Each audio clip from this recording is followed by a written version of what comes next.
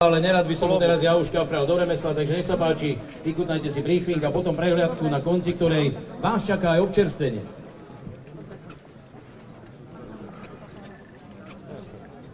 Pán minister. Tvoja chvíľa. Moja chvíľa? Je, jasné, jednoznačne. Tak ja len zopakujem to, e, čo som povedal na úvod. E, Obchádzame Prešov, juchu, juchu, treba sa z toho tešiť. Ja viem, že máme veľa ešte investičného dlhu, ešte veľa, čo NDSK musí dokončiť na Slovensku, ale to neznamená, že sa nemôžeme tešiť a že sa nevieme tešiť aj z takýchto pozitívnych správ. A myslím si, že Slovensko potrebuje viac takýchto pozitívnych signálov a musíme sa tešiť. Takže... Pardon. Pani primátorka hovorila, že v podstate je tu veľmi dôležitá vetva je R4. A už je to tu, hej, že áno. presne tak, prepáčte, že som vás nechal dokončiť, ale presne o tom hovorím, že dokončili sme jeden úsek, ale to neznamená, že nepracujeme aj na ďalších. Intenzívne pracujeme na dokončení prvej etapy severného obchvatu, tam stále platí marec 23, termín dokončenia.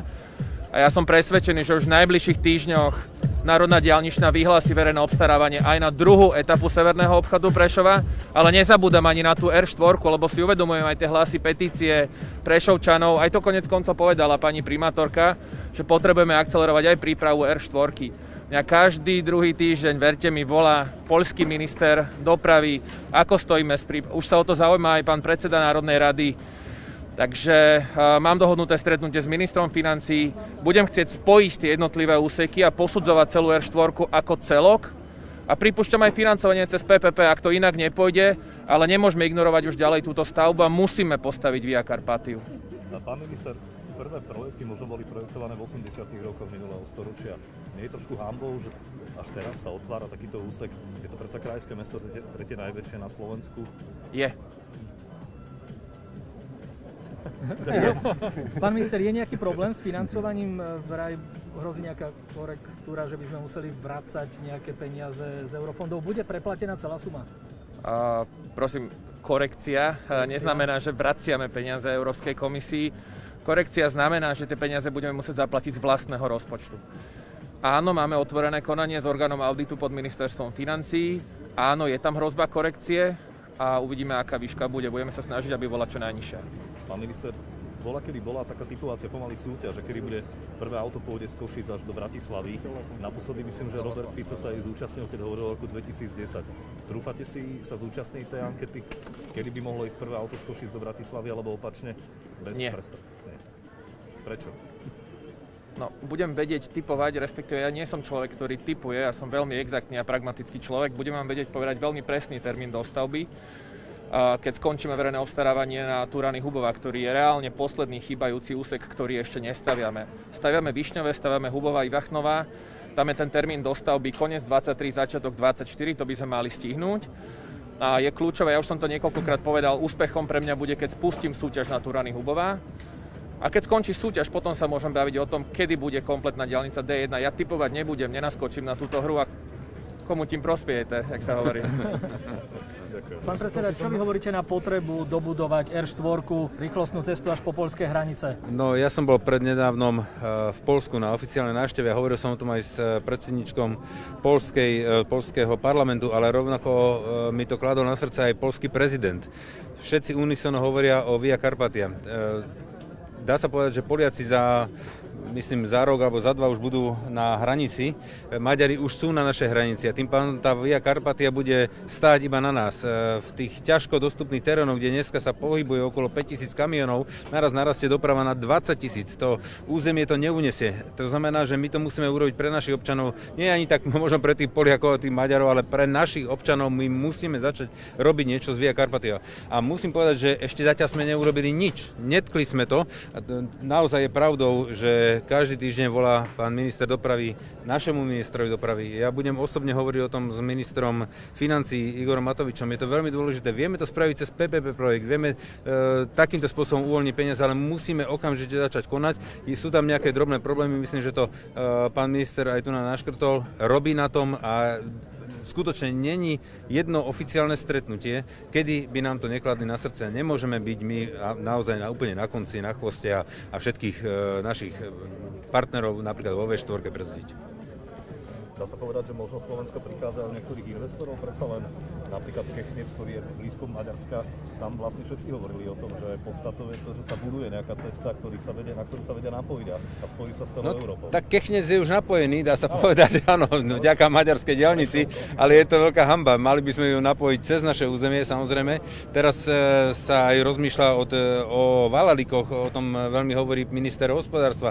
Tam by sa mal, mohlo pri, pripraviť 6 000 pracovných miest. E, Je možnosť e, jednej veľkej investície na Slovensku priamo v tejto lokácii. My potrebujeme tú diaľnicu dobudovať. Jak, e, ako sever, juh, tak východ, západ. E, Záleží nám na tom. Vidíte, že pán minister nerozpráva a koná. Takisto ako veľmi rýchlo vyriešil Višňové, tak je tou nádejou. On nie je politik našťastie, on je pragmatický manažer, ktorý proste koná. A pevne verím, že, že pod jeho vedením sa tie diaľnice maximálne urýchlia. Možno preto netypoval, že kedy pôjde to auto. Povedal vám to, že je schopný vám to určiť vtedy, keď bude vysúťažené, lebo to nemá v rukách. Už tú, tú stavbu už v rukách minister má, to si vie už odstrážiť, že budú dodržané tie lehoty. Ale to, za ako dlho sa bude súťažiť, koľko bude verejné obstarávanie, koľko e, firiem sa odvolá, kde to všade skončí, tam je zatiaľ ešte 5 odvolaní, kým nebude e, platný ten nový zákon. To znamená, že e, toto nevie, samozrejme to nevie nikto ani z čarovnej guly vyčítať. Ja som reagoval na to, že nie je politik, keby bol, tak asi... Ešte sa opýtam pána Áno, ministra. tak ja vám typnem, tak dva roky sa to bude súťažiť a potom to už určí minister. Viazne vyhlásenie súťaže na druhý úsek Severného obchodu prišlo. Potrebujeme si ešte a potrebujeme právnu istotu, že sa môžeme na NDS, že tento proces verejného obstarávania môžeme spustiť. Musíme byť v súlade so zákonom o finančnej kontrole a musí NDS mať dostatok zdrojov na to, aby mohla spustiť súťaž verejného obstarávania. Znie to hrozne, ja to viem. Potrebujeme si ešte vyjasniť skutočnosti s ministerstvom financí, aby Národná diaľničná mala skutočnú istotu, právnu istotu, že môže proces verejného obstarávania spustiť.